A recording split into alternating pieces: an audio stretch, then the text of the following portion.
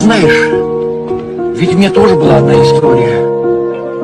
Давно это было. Влюбился я. Влюбился? Да, ходили с ней, гуляли, змея воздушного вместе пускали.